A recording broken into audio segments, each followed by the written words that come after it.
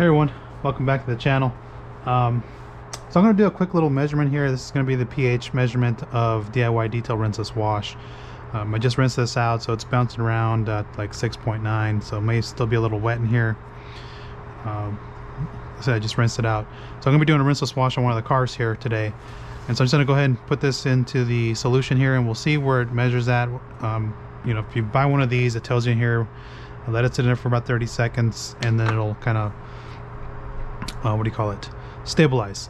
And so we're just gonna go ahead and do that and uh, we'll see what this measures at here. And let me get my, my finger out of the way.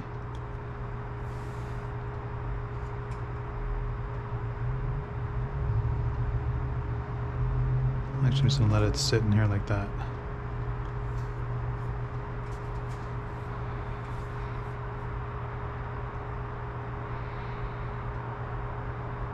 Okay, so it's stabilizing right around 5.9, 5.8.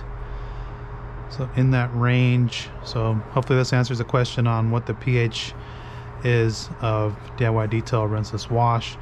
And, you know, as a, you know, this tool, there is some inaccuracy in it and then it'll continue uh, bouncing around. But it looks like it's stabilizing here, 5.7877.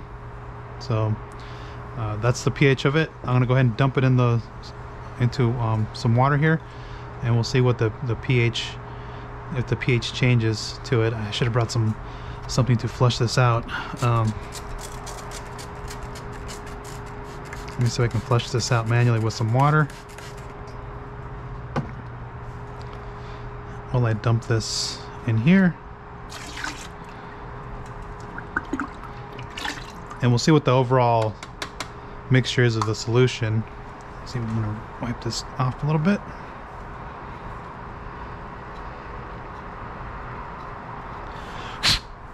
Okay, so I'm just going to manually mix this.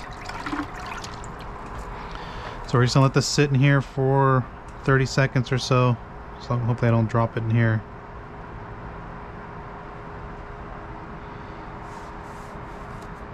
I'm going to go ahead and take the camera off my head strap here.